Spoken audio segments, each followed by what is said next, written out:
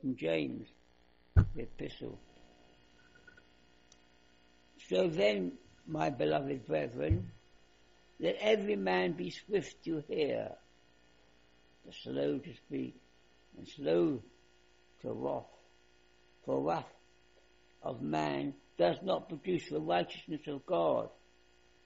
Therefore, lay aside all filthiness and overflow of wickedness, and receive with meekness the implanted word, which is able to save your souls.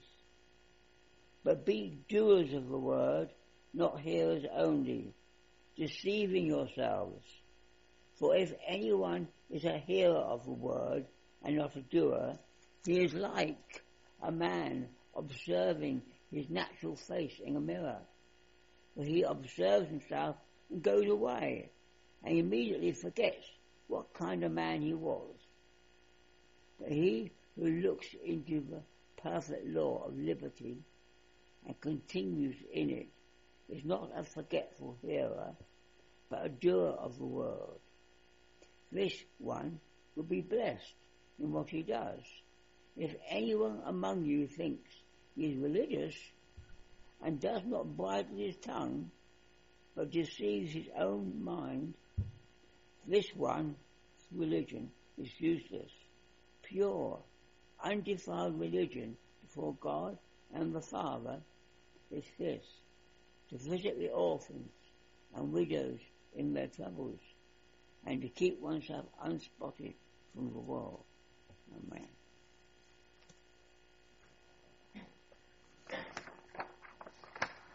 One day a man was walking casually along a country lane and he had his dog with him and he had his donkey with him and they were walking along this country lane enjoying a pleasant walk and as they were going round a corner so a van, a pickup truck came speeding round the corner and knocked them off the road into the ditch.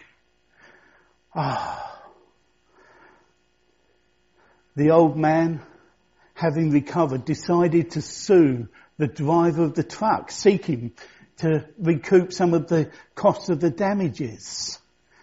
And while the old man was in court, he was on the stand, the counsel for the defense cross-examined him. Um, and they cross-examined, cross-examined him by asking a simple question. I want you to answer yes or no to the following question. The, the counsel said to him, did you or did you not say at the time of the accident that you were perfectly fine? The old man said, well, me and my dog and, and, my donkey, we were walking along the road and the counsel for the defense said, stop! Stop! I asked you to tell me yes or no? Did you say at the time of the accident that you were perfectly fine? And the old man said, well, it was like this. Me and my dog and my donkey were walking along the road and the counsel for the defense says, stop! Stop! I ask you to tell me yes or no. Did you or did you not? Yes or no? Did you or did you not? Yes or no? Did you or did you not say at the time of the accident that you were perfectly fine? Yes or no? Well, me and my dog and my donkey were walking along the road. Your Honour, said the counsel, this man is not answering my question. And the judge stopped and looked and thought and he said, I think he's not answering your question because you're not listening to what he's got to say. Why don't we let him speak? And so the old man, he was able to tell his story and he said, well, me and my dog and my donkey were walking along the road and this truck came round the corner too fast and knocked us into the ditch. The driver stopped, got out of the truck, saw my dog badly injured, went back to the truck, got his rifle and shot the dog. Then he saw my donkey that had broken leg and lying in a terrible state. And so he shot it. Then he said to me, how are you? And although I had a broken leg and a broken arm, I did say, I'm perfectly fine.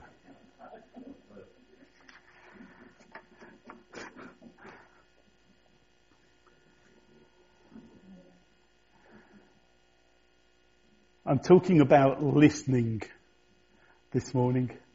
I'm talking about listening and how Jesus listened to people and how we can listen to people and how when we really listen and when we really hear all that's going on, what a difference it makes. Jesus listened to many people and the things that he heard made a great difference to the actions that he took. Um, when a rich ruler came to Jesus and he said to him, um, the rich ruler was telling him that he'd kept all the commandments and obeyed it, um, God and loved God. And Jesus listened to this, but knew there was something more. He heard that man's story, but then he said to him, now I want you to give up all that you have. Sell all your possessions, give them to the poor and come and follow me. That rich man, that rich man, what he heard was too hard for him.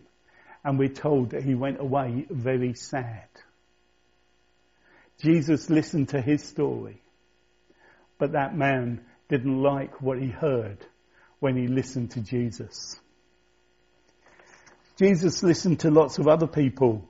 Um, when um, Nicodemus came to him, he was an intellectual man, and he came to him, and he came to him at night because he didn't want anybody else to hear or know that he'd come to Jesus. And Jesus listened to him. And Jesus told him how he must be born again in order to know the kingdom of heaven. What a fantastic message that was. Elk Wineham, um, let me get this right, Weihenmayer is blind. He's a blind man and yet on May the 25th, 2001, he reached the peak of Mount Everest. Suffering from a degenerative eye disease, he lost his sight when he was 13, but that didn't stop him.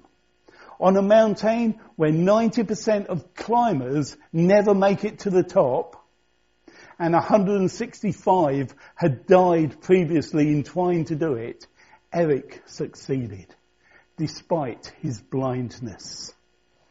Eric succeeded because he listened. And he listened well. He listened to the little bell that was tied to the um, rope in front of him, held by his guide. He listened to the instructions that he was given by the other climbers. And he listened as he dug his axe into the ice he listened to the noise it made, telling him whether, whether the ice was solid or soft. And he listened to the sound that, that got him safely to the top of Mount Everest. And that was an amazing achievement. Jesus listened to people Jesus listened and had people come to him all the time.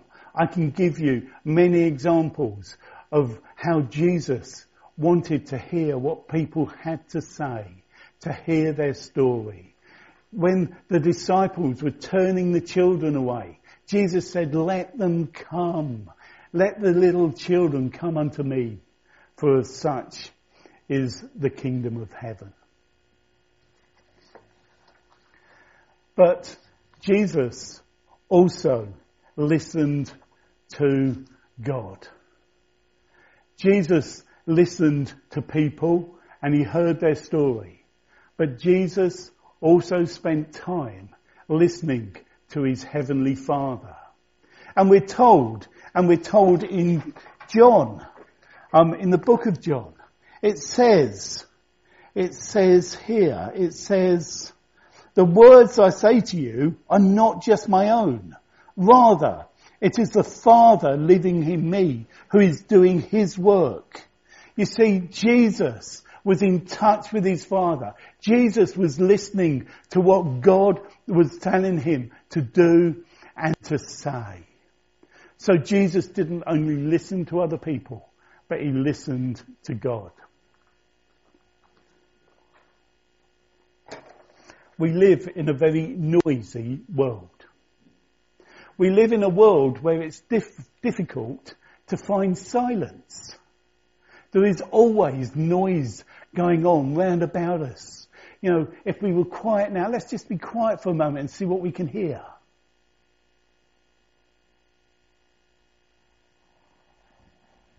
Cars going by, birds outside, eh, people in the distance talking. There's different things that we hear all the time. It's difficult, isn't it, to find silence. It's difficult to listen sometimes because there's so much distracts us.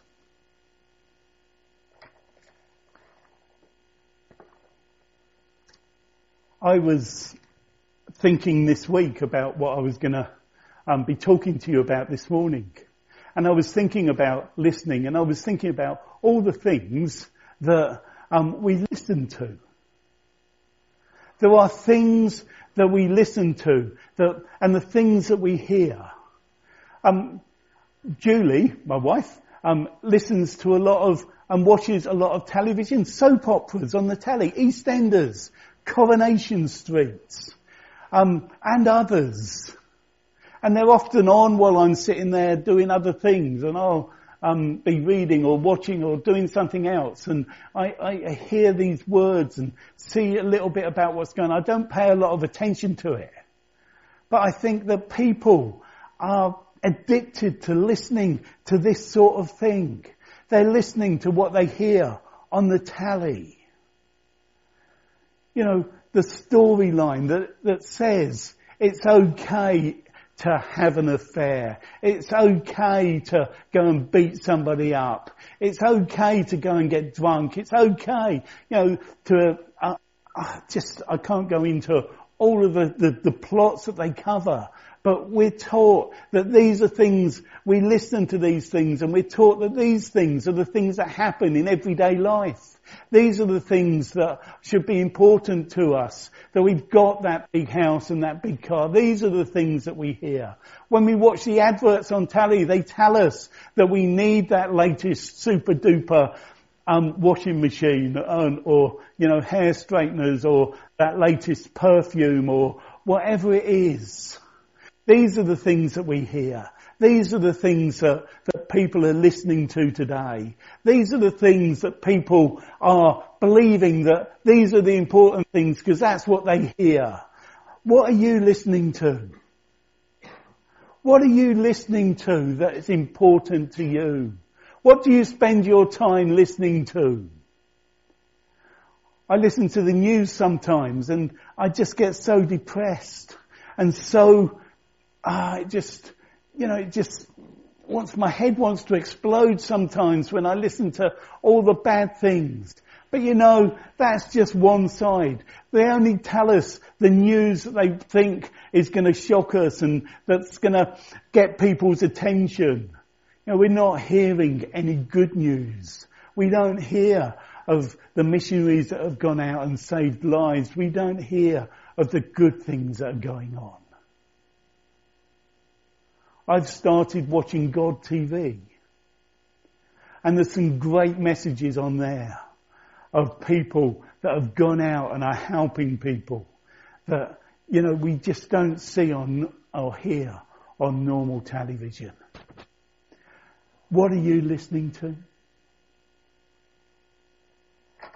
Are you listening sometimes to the things of this world and are they influencing you?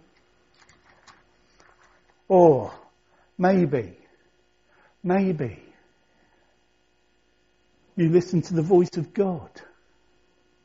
When you look in the morning and see the sun rising and a beautiful sunset at the end of the day, do you hear God's voice in that? Do you hear God saying, let there be lights? And God called the light day and the darkness night.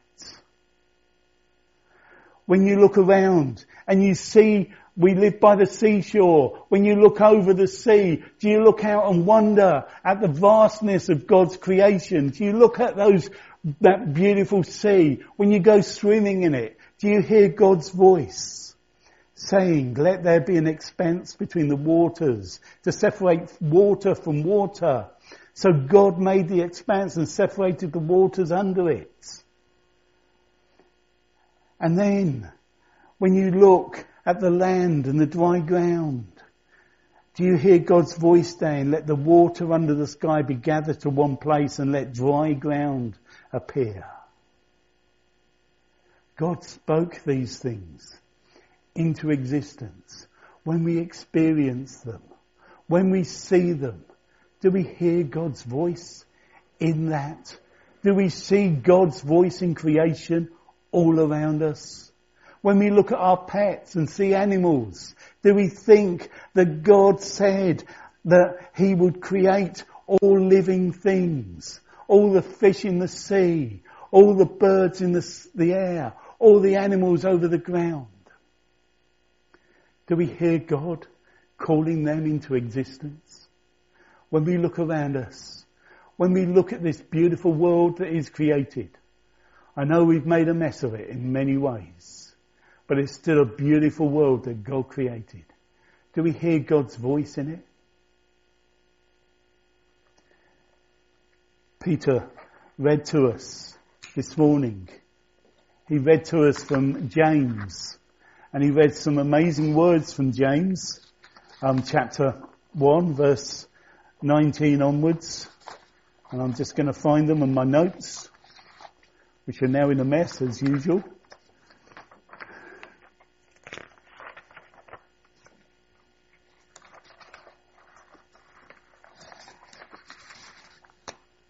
And verse 22, it says, do not deceive yourself by just listening to his word. Instead, put it into practice. If you listen to the word, but do not put it into practice, you are like people who look in a mirror and see themselves as they are. Do you look in a mirror?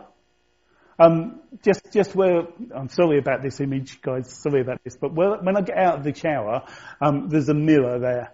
Um, and, and, um, often I'll get out of the shower and I'll look at myself and I'll, I'll make a comment which says something like, hello, handsome, or, oh, you're looking good today. Sorry, um, it's not an image you want to, uh, dwell on, so please don't. But,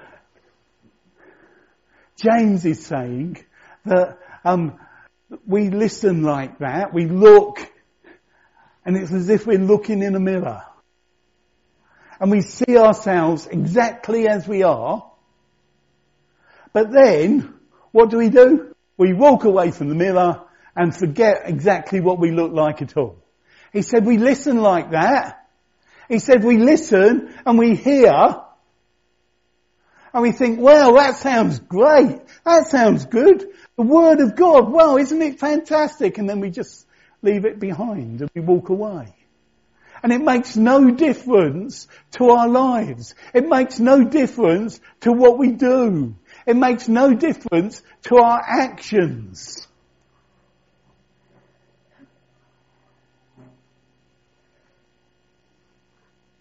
If you listen to the word, but do not put it into practice. It's like looking in a mirror. You see yourselves.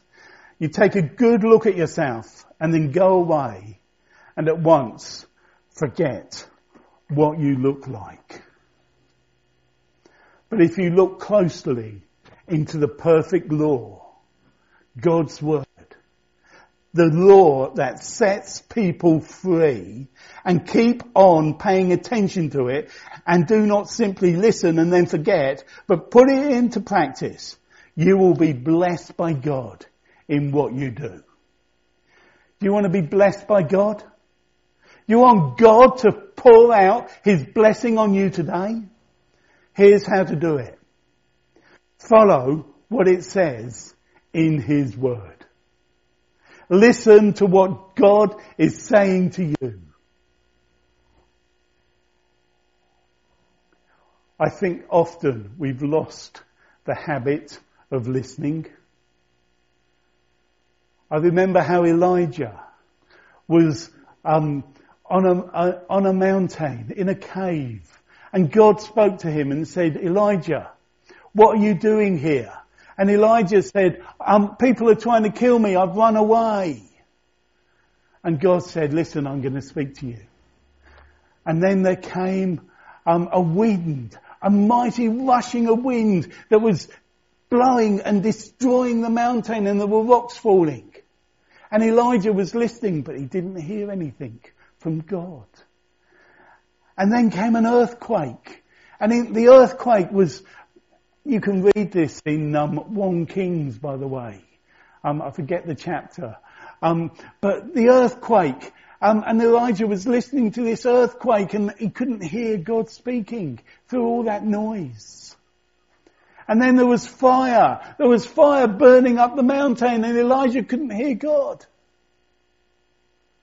And, and then everything went quiet. And Elijah went and stood at the mouth of the cave.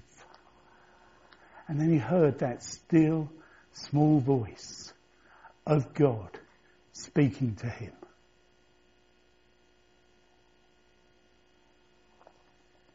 God does speak today. I've heard people say that God's quiet because um, nobody listens to him. But God speaks. God's spoken to me many times. Many times. And what a great thing it is when God speaks. God speaks through His Word. He spoke to me through His Word. I was having a terrible time. And I opened my Bible.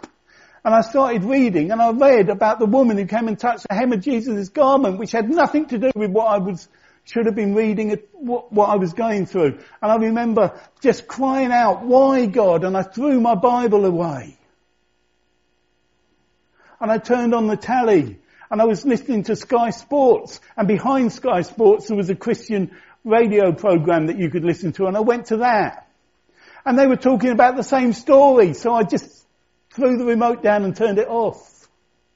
And I went to church on Sunday. And there in the pulpit was our pastor then, John Webster. And he read, and he read the exact same story. And I listened. I started listening, thinking, God, you have got something to say to me. And then he read on. He read on about how that man had come to Jesus and asked him to go and save his daughter, but his daughter had died. And Jesus said to him, don't be afraid, just believe. And when I heard those words, don't be afraid, just believe, I knew that that was God speaking to me. I knew that all that I had to go through, and it was quite a harrowing experience that I had to go through. I was in danger of losing my job. I was in danger of um, all sorts of things. People were lying about me, but I knew that God was in it because God spoke to me through His Word. He said, "Don't be afraid, just believe." As a result of that, the law of this country was changed. The case that I was in made new law, helping people who go to industrial tribunals, helping many people. I didn't know that at the time, but God spoke to me. He said, don't be afraid. Just believe I am in charge. I am the God. Listen to me. Don't listen to what anybody else is saying. Listen to me. What are you listening to today? Are you listening to the world in everything that it tells you? Are you listening to the world through the TV and through the papers? Are you listening to people who tell you that you need to get promoted at work, that you need to have this, the next um, um, model of car? Are you le- listening to people that tell you that you know you've got to um, wear certain clothes, or what are you listening to? What is it that you are hearing that is making a difference in your life?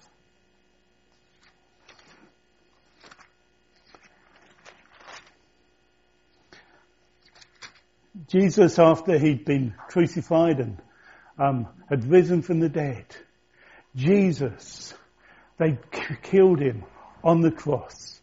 Jesus had died as that sacrifice for our sin. Jesus did that for us because he loves us. Jesus met with his disciples on the beach one last time. Jesus spoke to Peter and Jesus, when they finished eating, Jesus said to Simon Peter, Simon, son of God, son of John, sorry, do you truly love me more than these? Yes, Lord, he said, you know that I love you. And Jesus said, feed my lambs. Again, Jesus said, Simon, son of John, do you truly love me? He answered, Yes, Lord. You know that I love you. Jesus said, Take care of my sheep. The third time he said to him, Simon, son of John, do you love me? Peter was hurt because Jesus asked him the third time, Do you love me? He said, Lord, you know all things. You know that I love you. Jesus said, Feed my sheep.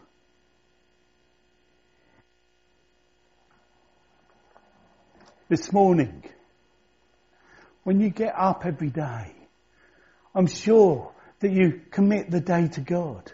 Do you get up and read His Word and pray to Him and talk to Him? It's a great way to start the day. But do you hear Jesus saying, Maria, Kathy, Kate, do you hear Jesus saying to you, do you love me? Feed my sheep. Do you hear Jesus telling you to go and serve him in the way that he has called you? Are you listening to what Jesus wants you to do and how he wants you to serve him in your life? Are you listening to that small voice? Are you listening to the voice of God in creation? Jesus made a habit and makes a habit of listening to us. Are you making a habit of listening to Him?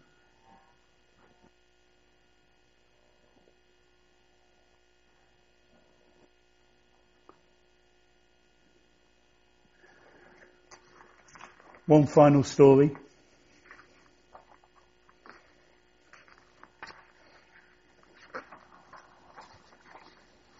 There was a um, man who went for a, a, a, job. It was a few years ago when Morse code was being used, and um, Morse code was a way of communicating. And this man um, applied for a job as a Morse code um, operator. His job would be to listen to the Morse code and write down what it said and also to send communication by Morse code. And there was a job for a Morse code operator and this man went for the job. And when he got to the um, place for the interview, he walked in and there was an office, there was lots of people talking and lots of um, noise and lots of huss. And on the counter, um, was, was a note which said if you've come for the interview, fill out one of these forms and sit down until you're given further instructions. And so the man went over to the desk and he picked up this form and he picked up a pen and he went and he sat down and there was a number of people also um, gone for this interview and they were all filling out these forms and they were all sitting there and wondering what was going to happen and there was more people arriving and there was more noise. And um, just just as people were were moving around and wondering what was going on, this young man he got up, he walked over and he walked through into an office over the side. And everyone looked and thought, well, where's he going? What's going on? Anyway, a few minutes later, the man came out, followed by another man, and this man looked around and said, thank you for all for coming, but this man has got the job. And everyone started to, what, but we haven't even been interviewed. But what about us? We've not even been considered. And the, um, obviously the manager, as he was, um, said, while you've all been sitting there, you should have been listening. There was Morse code being played, which said, when you filled out the form, come into the office. This is the only man that heard it. This is the only man that's got the job. The rest of you can go home. There's lots of noise in this world. There's lots of noise, lots of things for us to listen to.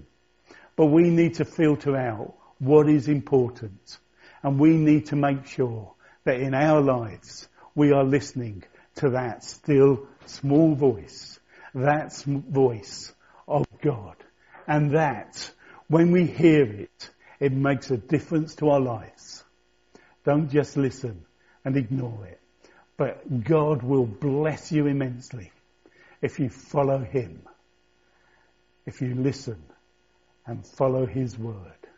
Let's pray. Father, we thank you for your message and your word this morning, and we just pray that that seed will touch our hearts. Father, we do live in a noisy world that is full of distraction, full of sound. Lord, we just pray that you will help us to listen and to hear your voice, and that when we hear, it will impact our lives and that it will change our lives and that we will follow and do your will. So help us, Father, we pray to hear your word, to hear your message and to follow your word. Father, we thank you that you do speak and we just pray that we will receive that blessing from you as we hear and follow your word. And we ask this in Jesus' wonderful name. Amen.